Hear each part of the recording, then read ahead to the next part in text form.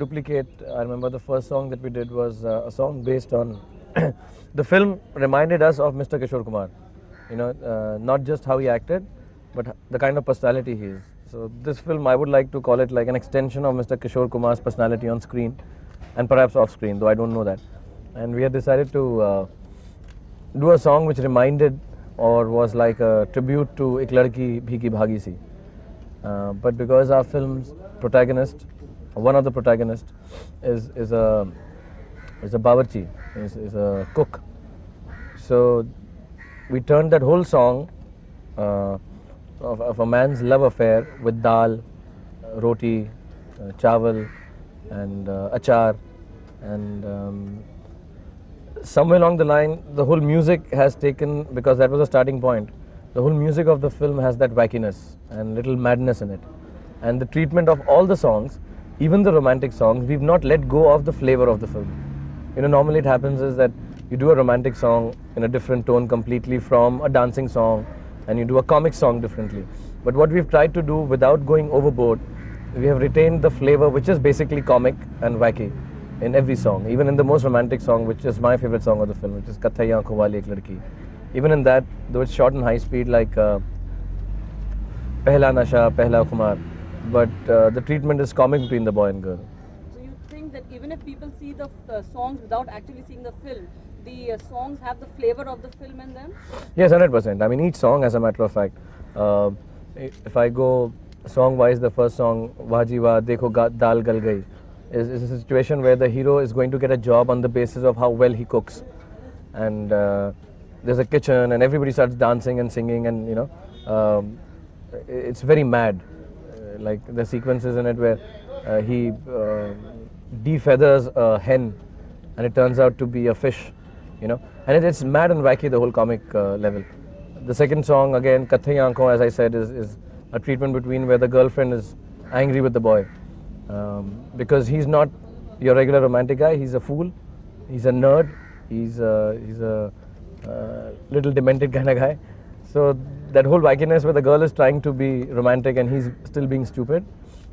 Uh, then the third song is a sequence where uh, which is a very Mr. Vijay Anand kind of song where you know you have a lot of intrigue in the song, where a contract has been given out on the villain, that is the other character, Mannu Dada, and uh, even in that song he comes in a disguise, but we have a lot of people who look the same in the song, and that also has a funny treatment, you know. So every song, I mean, even even when there is mistaken identity song, and there is a song, an imagination song between the two girls and one hero they're all really, really uh, mad actually. I mean, I, I, hope people like that kind of uh, comic madness. I think this is the first time that um, in a film the romantic songs also are treated in a comedy manner.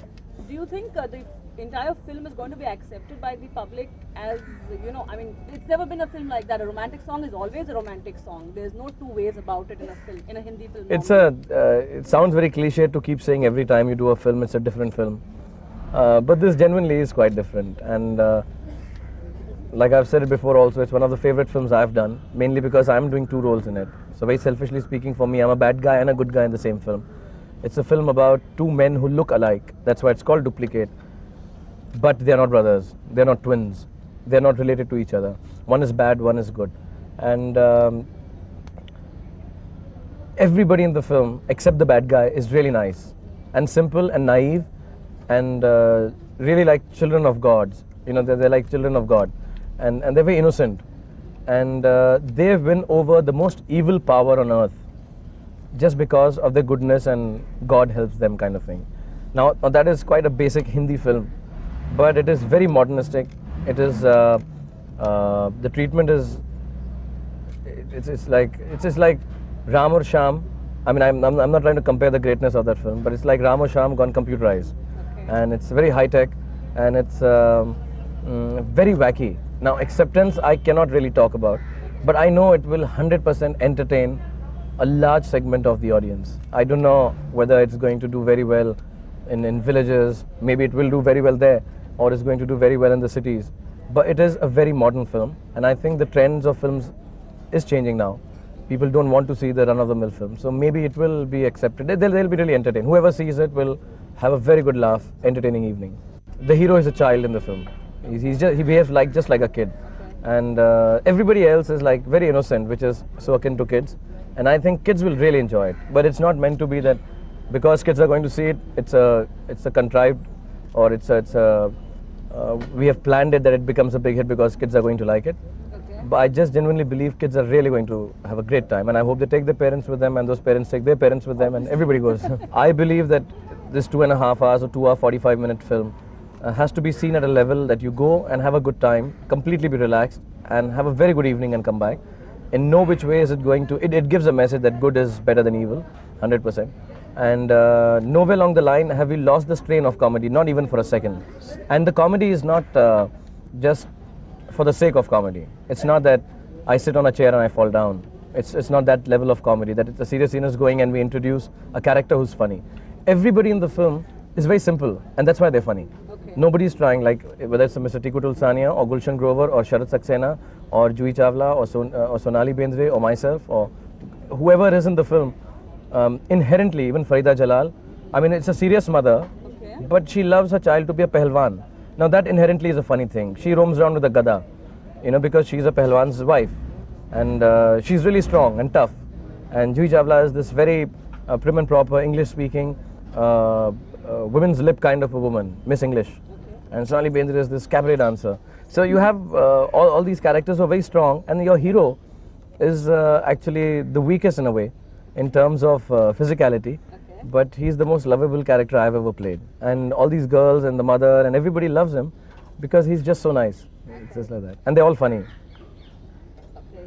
So, is something you would like people to, you'd like to say so to the people before we. I know about about uh, just pertaining to duplicate. I think it's it's it's, it's like I always I've, I've, been saying it for a long time. It's my favorite film, and uh, people should see it at that level. It's a comedy, and uh, we have tried. It's it's an expensive film because uh, we have tried some uh, uh, very interesting special effects in the film. Um, normally, double role special effects are done with masking. According to me, Mere Mehboob Mere Sanam jo hai, is the finest number in the film. Picturise तो बहुत ही अच्छा हुआ, मगर उसका जो एक mass appeal जो इस गाने का है is what is going to make this film work in a very major way with the audience